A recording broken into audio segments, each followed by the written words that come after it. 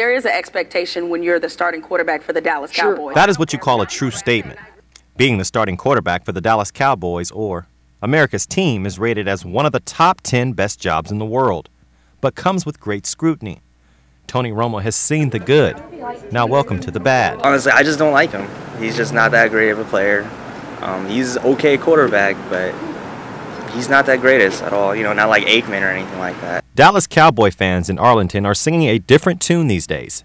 In recent years, when asking, Are the Cowboys going to the playoffs? I receive responses like, Of course, why wouldn't they? not worried because uh, we have a great defense.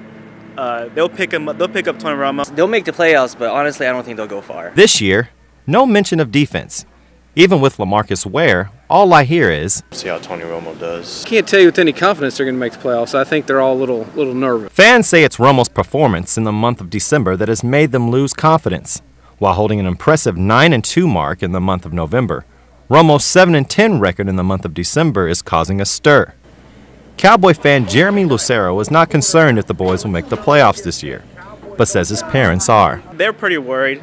I know for a fact they were because uh, they know Tony Romo's record and they know he has a tendency to mess up games for us. In professional sports, primetime players are judged on four things winning, statistics, crunch time, and playoffs. Tony Romo has proved that he's a leader. But after one fourth quarter meltdown versus the New York Jets, you'll be surprised who he was compared to. Tony Romo actually has. Do you think he has the clutch gene?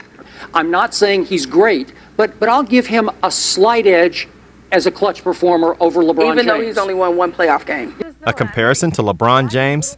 Didn't see that coming for Romo. And to my surprise, Cowboy fans actually agree with Tebow Bayless. I'm saying that's pretty accurate. Until Tony Romo proves that he could win in December and win a playoff game, he's gonna be like LeBron, like he choked in the playoffs. With comparisons to LeBron James and a tough loss to the Cardinals to start December, America's team seems to be in trouble.